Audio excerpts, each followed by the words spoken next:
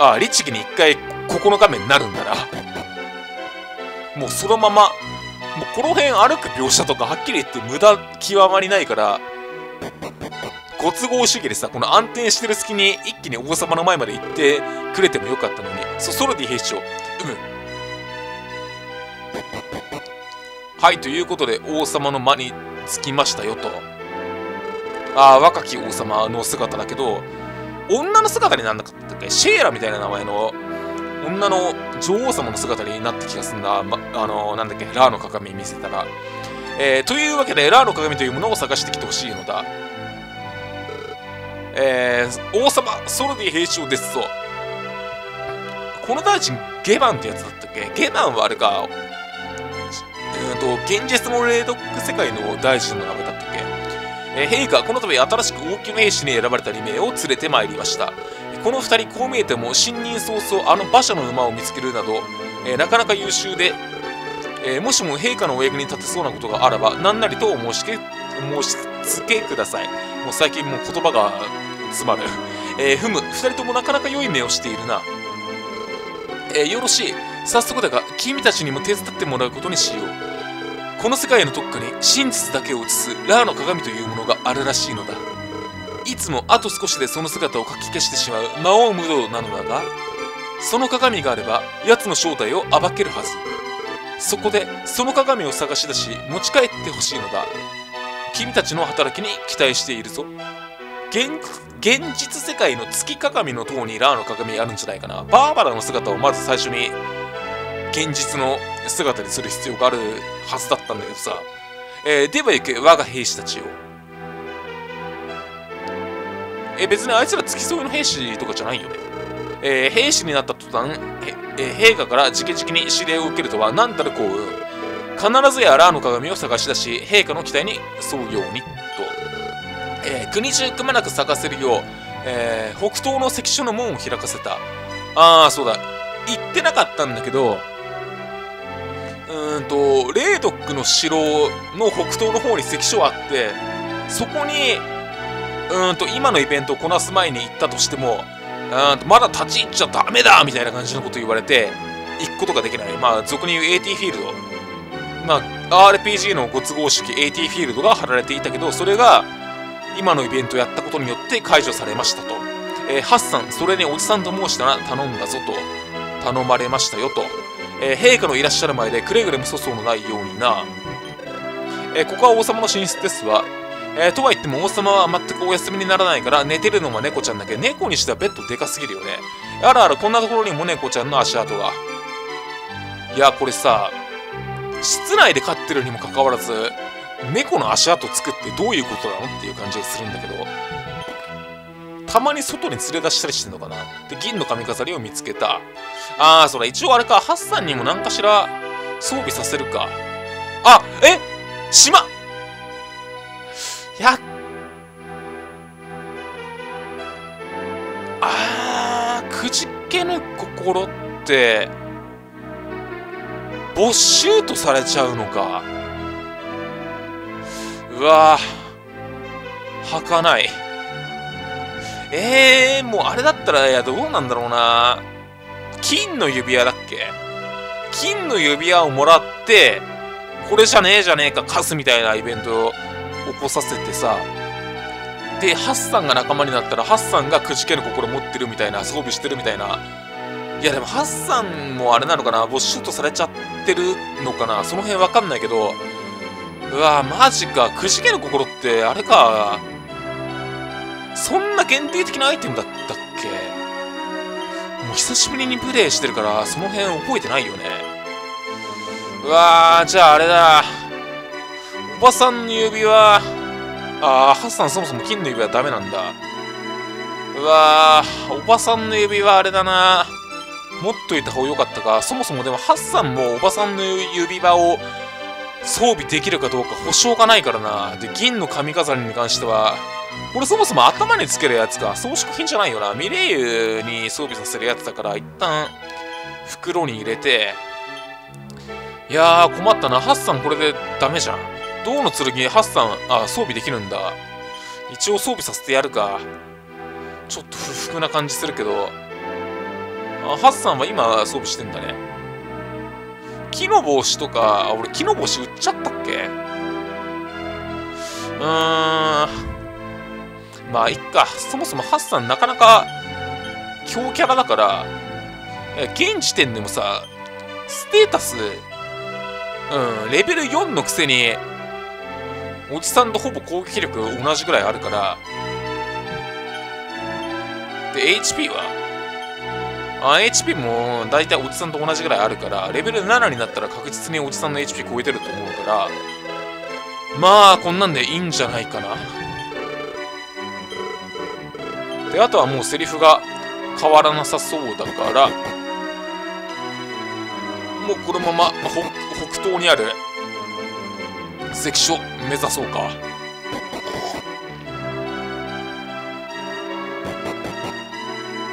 ああコーラがうまいぜ。一応ちょっと長旅になるからまあどれか1個ぐらいは、まあ、セーブしとくか何かあった時のこと考えたのね不慮の停電とかが起きるかもしれないから一応セーブはしておいてさあこれで安心パパ、まあ、ザコもそんなに強くはないからな。お化けなめくじのお化けなめくじだっけ？あの紫色の。血色の悪いやついたと思うんだけど一番最初のライフコットからシエナ行く過程で。であいつの上位互換のですねシーフラワーって名前だったっけな？名前覚えてないけどテールイーターだったっけ？なんか肌色っぽい色のお化けなめくじがいるんだよな。で霊読校より伝令を受けております。どうかお通りください。ただしこれより先は我が国の統治外気をつけて行かれるようにとか言ってるけどそんな手強くはないぜ。こっから先は他国の地位ゆえどこに何があるのかよく分かっていないのだ。しかし自分の足でくまなく歩けば必ずや道が開けるはず。霊読城の兵士ならばどんなことがあってもくじけるでないぞ。そのくじける心をかっぱらいやがってよ。もう一回話しかけたらくじける心をあげますよみたいなそういうサービスやってくれればいいのにって。毎回思うぜ。あーバブリー。バブリーなキャラ。あ意外とタフだ。あーこれキアリーまだ覚えてねえからきちいな。ドッケシソをいくつか買っておいた方が良かったかもしんない。2個ぐらいしか持ってないよね。毒食らったらちょっときついな。まあバブルスライムの他にピーポピーポみたいな名前の鳥が出てきた気がする。あガンコ鳥だった。ガンコ鳥の上位互換がピーポか。色は青なんだけどガンコ鳥は青だけどピーポは紫色だったはず。サンマリーノあたりで出るんだったっけ？サンマリーノが現実世界の霊読あたりのどっちかで出たと思うんだけどでこの家がこの家来なきゃダメだったっけ？あ教会か。うわー怪しい見た目してる。私は旅の商人ですが道に迷ってしまってしかしこの教会を見つけて本当に命拾いをしましたよと。いやいやどっかで見たと思ったらお前は確かおじさん。私を覚えておらんか。お主が霊読校に会った時後ろにいただろう。いや全員量産型だったからわかんないよ。えー、そういえばお主も私と同じ指令を受けたのだったな。しかし鏡がどこにあるのか全く雲をつかむようで参ってしまったよ。これチーメダ入ってないかな。清水か。まあないよりマシだ。うーんでお前何やってんの？えどんな事情かは知りませんが、長旅でサザエを疲れて、ああ、ただ宿できんの？ありがたいね。で、こなたとアップップして、こっちに、ああ、入ってないか。美しそう。ハッサン似合わねえだろ。まあ、使うんだったらやっぱおじさんだよな。ベストドレッサーコンテストも、まあ、おじさんに、人間の男性キャラは、まあ、なるべくおじさんを押していきたいところ。セーブも普通にできるんだ。セーブできるけど、さっきもセーブしたばっかだから別にそこまで重要ではない気がする。んで、あともう一個は、この家かな。ハッサンって、まあ、ネタバレなんだけど、まあ、今更ネタバレもクソもないかもしんないけど大工の息子なんよね。で一瞬でここに家を建てる。大工の息子といえどもあんなに一瞬で家建てられるのはちょっと変な感じもするけどね。毒消しそう。これはありがたいな。ちょうどバブルスが出てくるような場所だから。ああいいね。木の帽子。ハッサンこそ木の帽子似合うだろう。もともとかっこよさのステータス低いからこれでゼロになったんじゃないかうんゼロまあかっこよさゼロはハッサンらしくて OK えー、なんだお前らここはわしの家でお前らの家ではないな、いい。人の家に勝手に入ってきて随分恥ずかしいことを言うやつだな。何か用なのか、いいえ。だったら出て行ってくれ、わしは今忙しいんだ。こいつあれだよな、おじさんの、おじさんを身代わりにして助かった、木彫り細工職人の、片割れか何かだよな。どう見てもシエナにいたあいつビルテだっけ？ビルテの肉親にしか見えないけど、えー、それが分かってるならさっさと出て行ってくれ。ここのセリフいいのか？家選んで。家選ばなきゃダメなんだ。でここではい、えー、聞きたいことがあるだと。ちょっと待った。何のことを聞くかその前にだ。わしの頼みの方を先に聞いてもらおう。それでもいいな。これはい選ばなきゃ拉致開かないからとりあえずはい、えー、話はついた。実は小屋を建てたいんだ。切った木をしまっておく小屋をな。えー、どうじゃ引き受けてくれるのはハッサンは大工仕事と聞いてちょっと嫌な感じをしてるんだよな、まあ、そのためのびっくりマーク。で「はい」を選んでもハッサンは嫌なこったみたいな感じの反応するんだよ。えー、冗談じゃないぜ。どうして俺たちが大工仕事をしなきゃなんねえんだ俺たちは大きいの兵士だぜイコールさこんな上死に用はねえよって言うんだけどさまあ、DIY できた方がモテそうな気はするけどな。えー、ふう、萌えさんの相棒は言ってしまったようだな。えー、しかし、わしと二人でやればなんとかなるだろう。ついてきてくれ。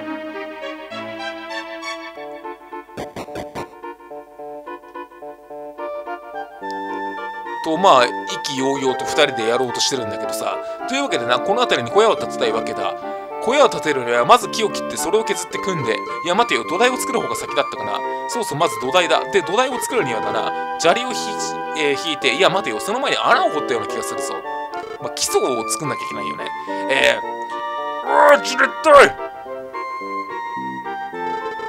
わかったよ。俺がやろう。ちょっとどいててくれるか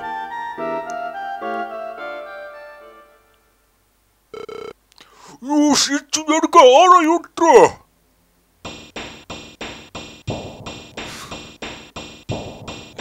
いや、基礎を全く作らずにそのまま、単純に木を置いたようにしか見えないんだけどさ、とんでもない速さでの突貫工事をしてるよね。建築基準法、まあドラクエの世界はそもそも建築基準法が全く適用されてない気もするんだけど、まあ一瞬で掘ったて小屋を建てましたよと。え、ここ、こいつはすごいぞと。えー、ふふ、意外だったな。俺にもどうしてかわからないんだけどよ。大工仕事をやりだすと勝手に体が動いちまうんだ。旅の武道から俺がこんなこと得意だなんてあまり人に見せたくなかったぜ。まあいいや、今度は俺たちが聞いてもらう番だ。行こうぜ、おじさん。とか言うんだけど、こいつ何のヒントもくれないんだよな。いや、一応ヒントくれるけど、役に立つヒントではない。ああ、何もねえのかよ、クストはな。えー、立派なもんだと。えー、ラーの鏡について知ってることを教えてほしい。そうか、待てよ。え、ラーの鏡か、うん、えーと、とか言うんだけど、こいつ何も知らないんだよな。すまん。本当にすまなんだ。そんな名前の鏡は聞いたことない。代わりにダーマ神殿のことを教えてやるぜ、とか言うんだよな。えー、おい、おっさん、それもないだろまあ、待て、乱暴はいかんぞ。よし、代わりにダーマ神殿のことを教えよう。ラーとダーマ、なんとなく似てると思うが全然思わねえよ。えー、まあそういう技で聞いておいて損はないぞ。これわしのひいじいの話でわしが見たわけじゃないんだな。えー、こっから東の大きな川を越えてさらに東に行った山奥にとても大きな神殿があったそうだ。あれが噂で引くダーマの神殿じゃないかとひいじいは言うとったな。ちょっと呼吸が荒い。えそれともう一つ、森の中の砂地のところに川を越えられる抜け道があると言うとった。この砂地のところに川を越えられる抜け道があると言うとった。このセリフさ、このセリフをこいつから聞かないと、いくら調べてもその秘密の抜け道にを見つけることができないみたいな感じじゃなかったかな。調べればすぐに見つかるとな、えー、どうだ？わしの話はためになるだろう？わっはは。なんかマジで最近呼吸すげえ苦し。いどうしたどうしたことだ？もうおじさん年齢がもう若くないせいなのか。実況で喋り続けるとすぐに呼吸が荒くなる。まあここ最近ちょっと体が疲れてるっていうのもあんのかもしんないけど。一回あれかなフィールドマップ出ればもう一回入ったらちょっと移動してくれてる。元の家に戻ってくれてればいいんだけどさずっと新しい小屋にあ居続けてるわダメだわ。まああの樽の中は何もないとは思うんだけれどもレミラーマ使って調べたいんだけどまだレミラーマを誰も覚えてないから商人か盗賊か誰かがレミラーマを覚えるはずなんだよな。ではいさっき言ってた例のやつ。この砂漠の抜け道の中央にえ抜け穴を見つけたと。今のイベントやってない状態だったら見つけられなかったような気がするんだが記憶も古いからもう覚えてないよね。あ出たテールイーター。あれ？テールイーターこんな色だったか。灰色っぽい色。で寝ていますと。テールイーターの上位互換のやつが黄色っぽい肌色っぽい色でシーフラワー。あいつは海の上で戦闘になるキャラクターだったか。ちょっとその辺やっぱ久しぶりにプレイしてるっていうこともあってやっぱ勘違いしちゃってるよね。こいつ顔の真ん中のちょっと赤くなってる部分あるあると思うんだけどあれって何鼻なのかな？豚みたいな話してるってことか。でハッサンレベルアップ。飛び膝蹴りを覚えました。飛び膝蹴りは空中に浮いてる敵に対して有効な技。あ聖堂の盾いいね。うーんとまあハッサンに装備させるか。ハッサンの方がまだ弱いから、まあ、単純に装備を移動させるのめんどくさかったっていうのもあるんだけど聖堂の盾は、うん、と今は買えないけどサンマリーノについたら買うことができますよっていうアイテムだね。ああやっぱブーメラン強いわで飛び膝蹴りも別に空中に浮いてない敵に対してもまあそれなりに普通にダメージ入れられるみたいな技かな。まあ、ガンガン行こうぜにして飛び膝蹴りを発動してるってことはやっぱそれなりにいい技なのかな？通常の物理攻撃の1.15倍ぐらいのダメージを与えてくれるようなそういう技なのかもしれん。でここのトンネルトンネルというか洞窟はそこまで長くはなかったはず。2マップ3マップあえ熱コウモリ？お前結構場違いじゃない？このマップに出てくんの。うんうん。9しかダメージ与えてないけどさ。だって一番最初の山道で出てくるようなキャラクターだからさ。それがまさかこのダンジョンでまあ一応洞窟の中だからなのかな。洞窟つながりで4体出てきたけど明らかに今この状況から出てくるような強さのキャラクターじゃないと思うぜお前。でテールイーターは相変わらず眠っているとで特に言及しなかったけど今おじさんレベル上がってようやくルーラーを覚えてくれたよね、まあ、これで移動が楽になったけどしばらく別に霊読とかに戻るようなことがないからああこれ外れか。上の方にも同じようにマップあると思うんだけど清水かなんかなかったかな。とりあえずバブルスライムを倒したい。倒したいけどワンパンできねえのマジできちいな。オッケーオッケー。ハッサンもちゃんといい感じでああどこに置かされた。いやいい感じにバブルスの方を狙ってたんだけど毒消し層はぐれはぐれじゃねえや。バブルスライムが落としてくんないかな。でハッサンレベル低いっていうのもあってガンガンレベル上がってくね。でハッサンもどこ一回直してで上は？上もにゃにもない。でさらにこの上と下の方に道があるけれどさすがにどっか一マップぐらいはお宝があってもいいとは思うんだがあーこれただの外れルート。いやエンカウントここに来てすごい激しくない？まあレベルが上がってくれるからいいっちゃいいんだけど、まあ、特に倒しやすい敵が比較的多く出てくれる。まあバブルスタイム除いて他のキャラクターはそんなに強くはないからな。こんだけ入り組んで奥に道があるんだったらさすがに何かしらのお宝がないと困るんだが。とりあえずうん毒食らわなければいいよねって言いたかったな。毒消しそう落ちてないのがマジでたまに傷だ。これラストか毒消しそううーんと一応1個だけ。これ毒食らったら結構ピンチだな。毒消しそう入ってないか。お金か。お金はいくらあったとしてもどうにもならんのよ。敵が今先手を受けて先手を取ってきたけれども。身を守ってるだけだった。でコウモリでさまあ、鳥？は哺乳類か。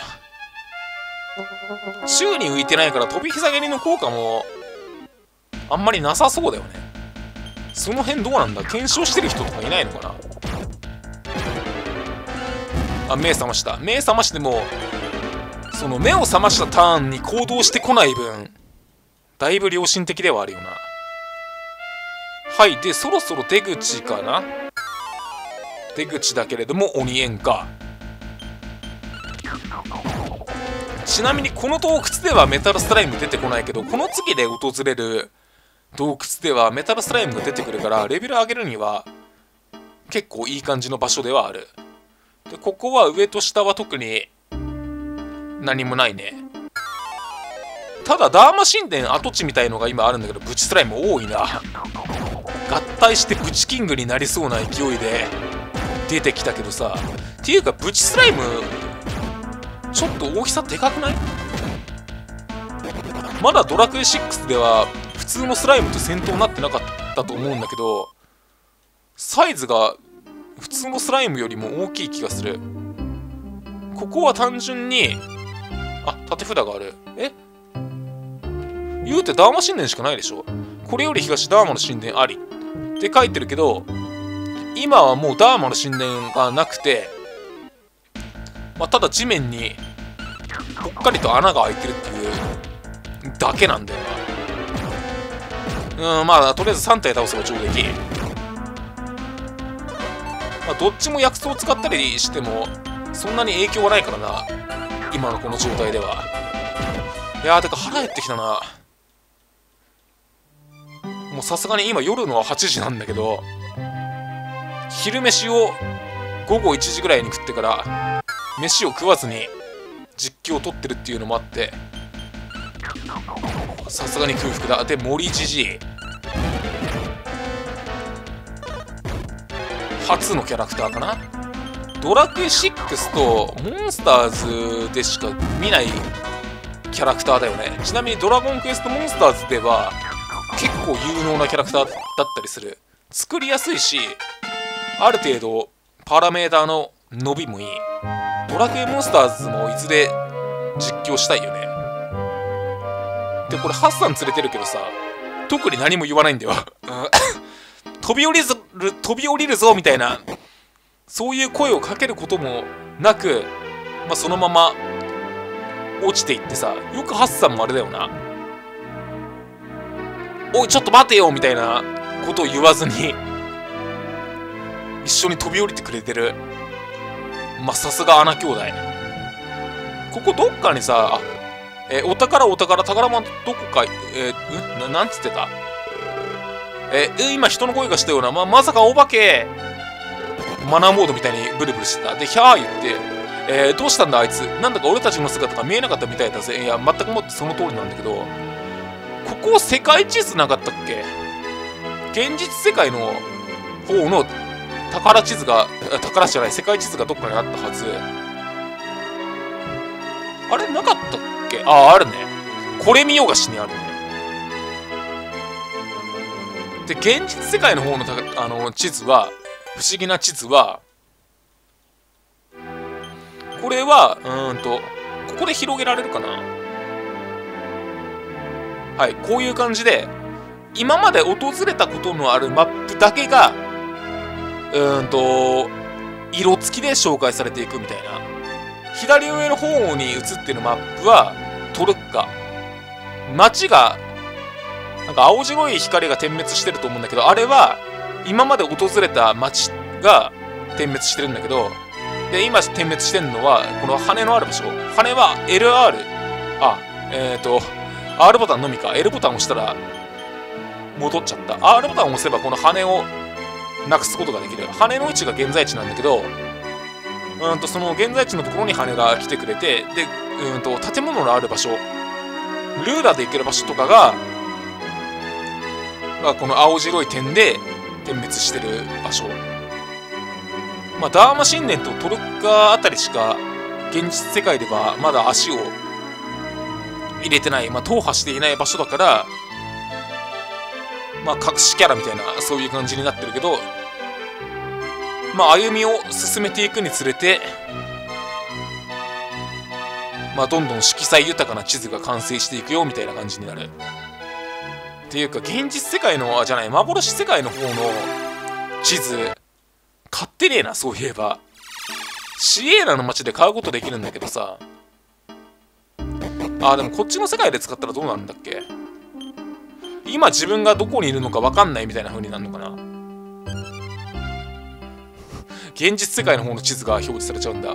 今どこにいるのか分からない。どうやらここは地図に載っていないところのようだ。という風にまあそもそも幻の大地だからね。幻の大地の地図はやっぱ幻の大地の方にしかないんだよな。まあなくてもいいけどあった方がまあ今みたいに地図の説明をするときに役に立つからいずれシエナに行くことがあったら買っておいた方がいいよねっていう話。さあこっち側での戦闘は初めてビッグフェイス。こいつはシールド小僧の上位互換でダークホビットの下位互換。ビッグフェイス。まあ中くらいの強さだよね。大防御ではないけど身を守るっていう行動をしてきたらまあ1ダメージしか通んないと。まあまあ強くないか。シールド小僧より二回りぐらい強い。感じはする、えー、これより北東ダーマの神殿あと現実世界の方ではダーマ神殿壊滅的に滅びてるからな。はい。でサンマリーノの町に着きましたよと。えー、全く町長さんにも困ったもんだがいくら犬が好きだからって首輪もつけずに話し飼いにしたりして。えー、なんか今人の声が聞こえたような気がするけどこいつの あの下のババアの独り言でかいよね。でこいつの独り言もまあまあ知ってるよね、えー、誰もいないような気のせいか。って感じで村の人にはこの姿が全く見えませんっていうそういう状況。えー、ペロ。うーワンワンちゃんと名前があるキャラクターだからこいつはまあイベントを、まあ、今後起きるイベントのキャラクターなんだけど、まあ、そのイベントに関しては、まあ、時間もそろそろいい頃合いだから一回セーブして終えるか次の街、えー、次のパートでこの街の探索することにでもしようかな。そこにどなたかいらっしゃるのですが、もしも神様がおいでなら、どうぞこの世界の人々をお守りください。私は感じるのです。大魔王武道の力が強まりつつあるのを、とかなんとか言っちゃってるけどよ。あ、これババア。ババア何の反応もしてくんない。話しかけても。いや、これが本来の通常の反応で、反応だと思うんだけど、ちなみにこれ、聖書しかないのかな？特に変わった本はないようだ。まあ、たまにゲームの遊び心でこういう本棚にエロ本が入ってたりするよな。明らかに場違いな本が混じってたりするよね。えー、なん感じますと何者かの気配を。まあ普通にセーブすることができるから、まあこれ見ようがしにセーブしておいて、お金ずいぶん貯まったな。1000ゴールド貯まったか。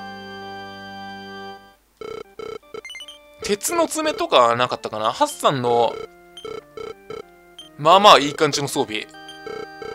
鎖釜とかもあったかもしれないんだけど、おじさんが装備できる武器で鎖釜あったと思うんだけど、グループ攻撃だったかな。まあ、グループ攻撃か単体攻撃だったか、ちょっとその辺忘れたけど、やっぱブーメランの方が圧倒的に1回の戦闘が早く終わるから、まあ、雑魚戦においてはブーメランの方が有能だから、まあしばらくブーメラン装備してるだろうな。っていうことで一旦終えるぜ。次回に続く